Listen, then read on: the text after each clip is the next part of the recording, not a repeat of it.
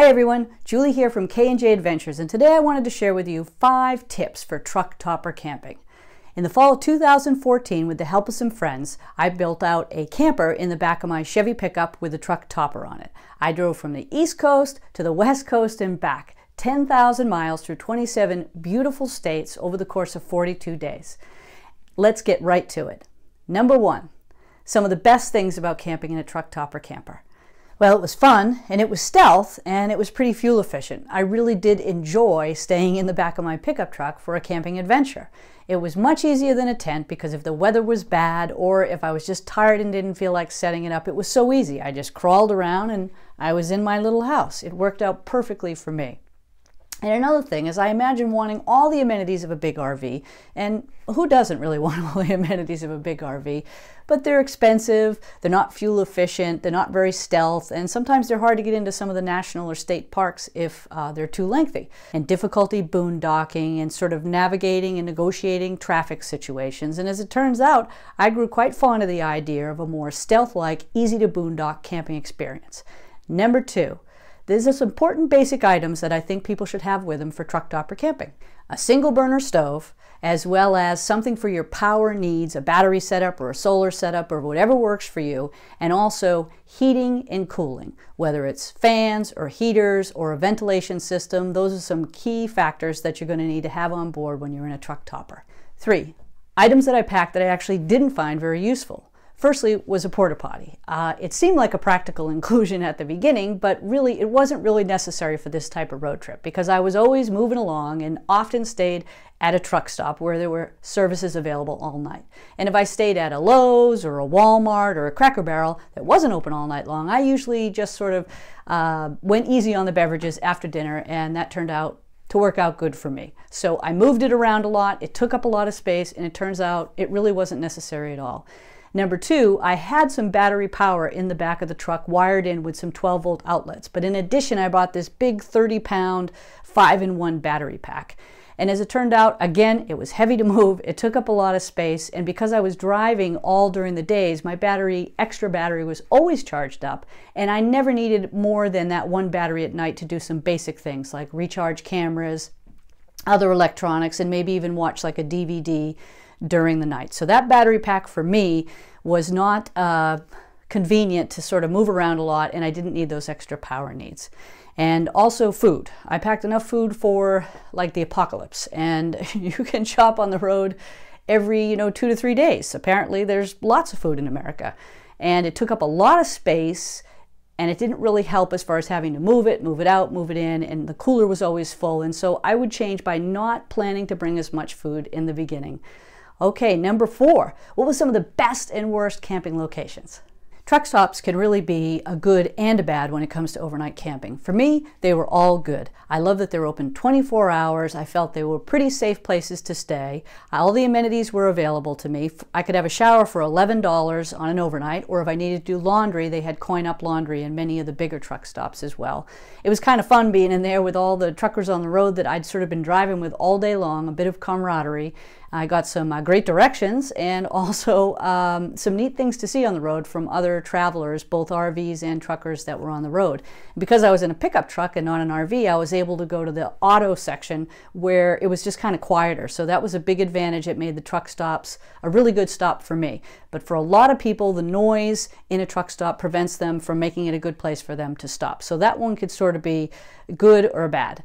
Uh, other places to stay that I think are sort of all good are Walmarts and Lowe's and Home Depot and Cracker Barrel. And I followed the usual etiquette of going in and talking to the management to see if it was okay to stay there for the night. And with like Lowe's and Depot, I got free Wi-Fi all night long. So I really enjoyed that. And I think common sense locations is sort of the big one. On the downside, really, it's a matter of if you're picking a location that just doesn't feel right in your gut. And I've heard a lot of people say that online, and I would just agree with that. Stay with the big locations. And I think if you're going to be stealth and parking on the street or in a neighborhood, you really have to be sure about what you're doing and make sure that you have a sense of safety. And for me, I didn't carry any big weapons or a knife or anything. I had some pepper spray, which I got on the advice of a friend. And uh, pretty much if I had anything else, I'm pretty sure it'd be used against me because of my lack of experience. But mostly trust your gut when you're boondocking anywhere in America, and that will serve you well. I would target using a campground like every third day or so because I could do laundry, get showers. I knew I'd have pretty much guaranteed Wi Fi if they advertised it. Number five, the most helpful ideas that I got from other YouTubers, which really made a difference in making my trip better. There were so many good ideas that I got from watching YouTube videos, and I appreciate everybody that uploaded all their awesome creations in the back of a tr pickup truck so that others of us could learn from you. Some of the things that were most helpful were the design process and the amenities that one might want to have in the back of a pickup truck. So firstly, regarding the design process, I found that to be key. When I was finished with my project, because I'd spent a lot of time, it was exactly how I wanted it to be. I had those right amount of space for headroom, right amount of space for storage, and space to the sides of the platform bed for storage. And I realized when the project was done that had I not spent all the time in the measurements and the planning, it wouldn't have come out exactly the way that I had hoped for. So plan, plan, plan. That's a good way to do it. Take lots of measurements, draw pictures, and imagine what you want to have in your dream truck bed camper. Also, I learned ways to modify my truck to have power needs with, uh, with a battery wired in and how I could charge that while I was traveling. I also learned how to insulate my pickup truck with Reflectix. I learned that Velcro uh, can be almost as good as uh, duct tape when you're attaching things inside a truck topper if you have a headliner. Also, privacy blinds for boondocking, how important it was to be able to block out all the light if you were in there at night reading or watching a DVD so that nobody knew you were there. That's the whole point of being a stealth boondocker. So, curtains were a huge deal, and it also was important for me to have them insulated because I knew I was going to be traveling in some of the colder weather. And the other thing that I picked up was someone that had put a pole with a hook on the end of it, and when I was fishing out my suitcases at the deep end of the truck, I could just put the pole down, hook the case, and bring it out. Um, that guy should get like the Nobel Peace Prize or something because that saved me uh, a lot of hassle getting stuff from under the bed. And I appreciated so many things from other people's videos, but those were a few that just sort of come off the top of my head, and uh, it made for a great trip for me. Now, lastly, some of my final thoughts I love traveling cross country in a pickup truck. It turned out to be a really great experience, and I loved seeing different parts of America that I hadn't been exposed to, and it was a real fun experience for me. And although my space was small, I had a lot of amenities, and I have to say that it gave me some inspirations for my future. And I'll be sharing some of my new topper upgrades with you in the near future, so stay tuned to K&J Adventures. And also, I learned a lot about the different regions of America, histories of like mining and the Civil War, and some of the economic industries that are different. I just got to say, I, I really enjoyed it. I loved hearing from people and going to different museums, big and small, and just understanding the country I live in a little more meant an awful lot to me. I also learned how to upload a YouTube video, and I did so because of all the people that came before me and shared their ideas. I was inspired to try and share my own. And it was like slightly less complicated than brain surgery for a non millennial to figure out how to use this technology.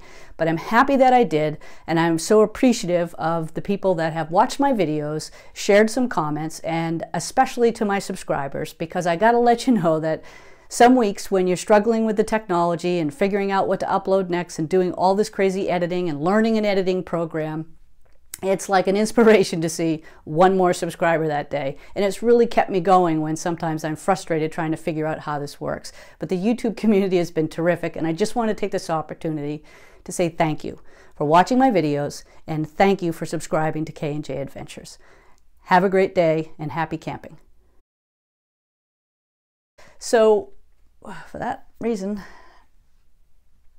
uh, this is much harder than I imagined. I really enjoyed at the end of the day not, not having I used to have lots of tents to set up to go camping, and I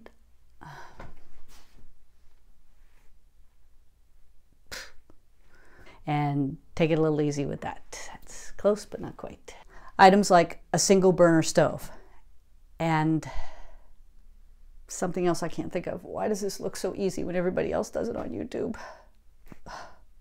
Firstly, was a porta potty. As it turns out, I could save me from myself.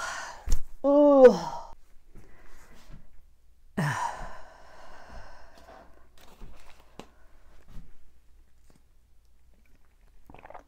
Take number 52. Truck stops. They can be